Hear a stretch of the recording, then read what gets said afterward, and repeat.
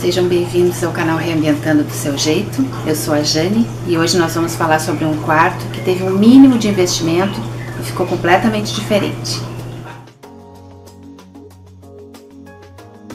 A Karina me procurou e eu adoro esse tipo de desafio.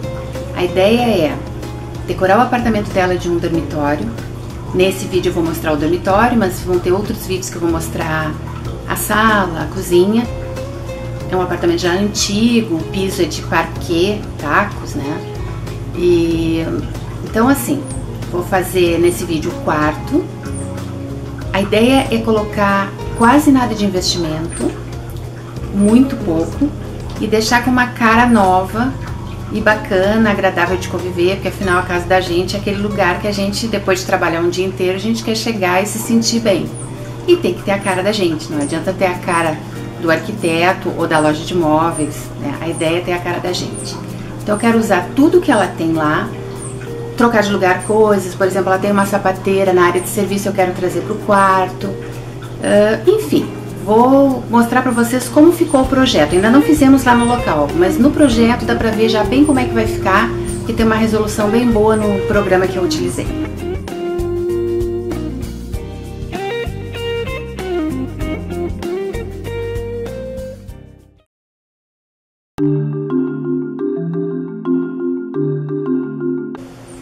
Uma sugestão que eu tenho para dar para vocês é assim: vamos colocar num papel as medidas da nossa peça.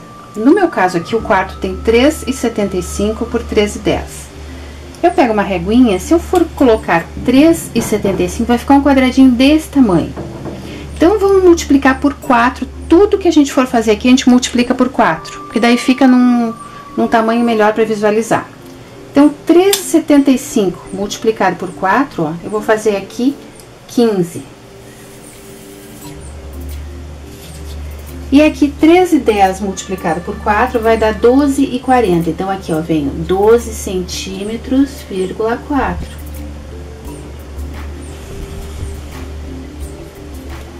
Eu já tinha riscado antes, então só vou reforçar meus traços aqui.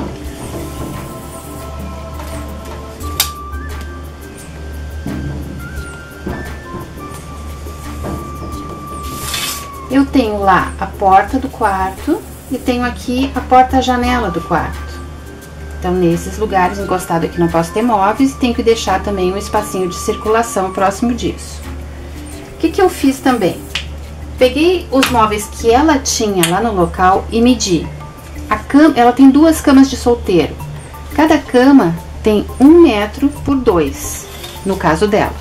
Então, o que, que eu fiz? Multipliquei por quatro, botei aqui, ó, um, 4 centímetros. Aqui tem 2, multiplica por 4, 8 centímetros, ok? Então, eu fiz assim, risquei no jornal e recortei todos os móveis dela.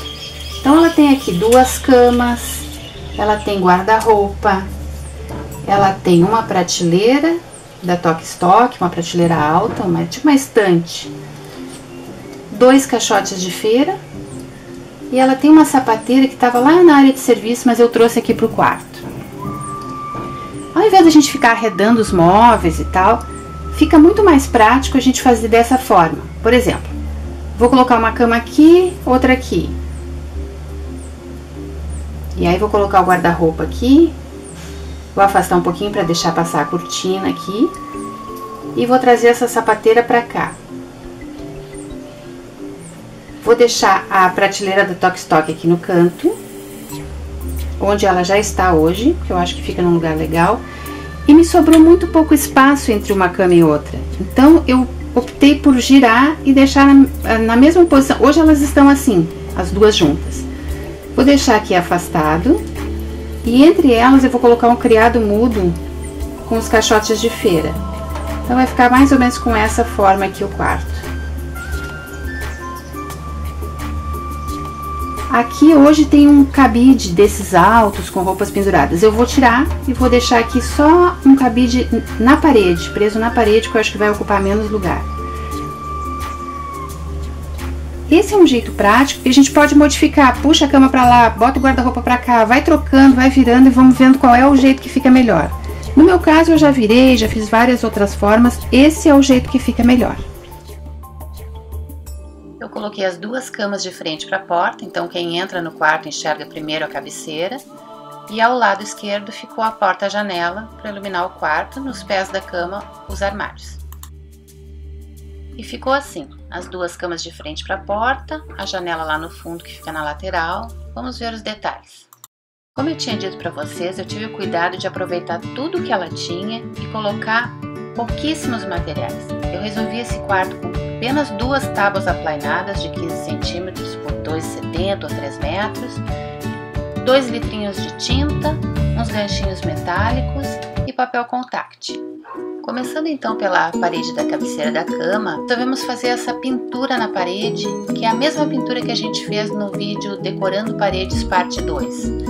Lá eu vou deixar o link aí embaixo, lá tem o passo a passo dessas listras que são pintadas diretamente na parede. Depois de pintar essas listras, a gente uh, pintou essa madeira, essas duas tábuas, e colocamos, afixamos com parafuso nas paredes, uma, uma horizontal e uma vertical. A tábua horizontal ela tem 2,70 metros, nós pintamos com a tinta esmalte azul marinho e depois pregamos na parede com parafusos.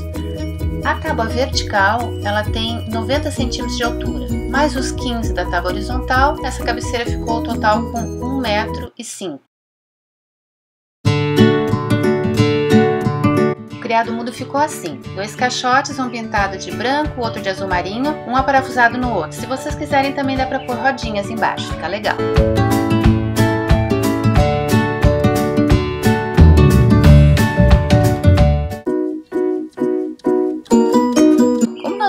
Móveis todos brancos, para dar um colorido, eu colei um papel contact atrás das prateleiras dessa estante, alternado. Sabe aquela tábua que sobrou, que nós colocamos na vertical? Ela tem 2,70 metros e nós cortamos com 90 centímetros. Sobrou um pedaço, o restante a gente cortou, um pedaço de 80 centímetros para fazer esse cabideiro aí. Depois de pintar a tábua, nós colocamos três ganchinhos metálicos desses que se compram em Ferrari. Como a gente não tem muito armário para guardar coisas, eu aproveitei em cima da sapateira para colocar duas caixas organizadoras. Essas caixas são de papelão revestidas com papel contact.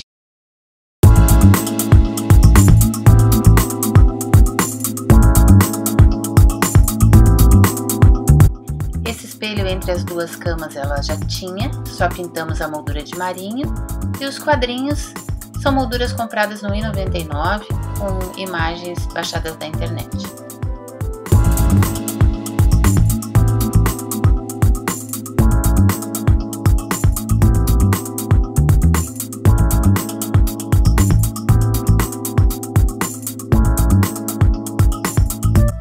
É isso aí, com pouquíssimo investimento, o quarto ficou desse jeitinho. A Karina gostou bastante, espero que vocês tenham gostado. Ah, eu espero os comentários de vocês, hein? Não esqueçam de dar sugestões do que vocês gostariam de ver aqui no canal.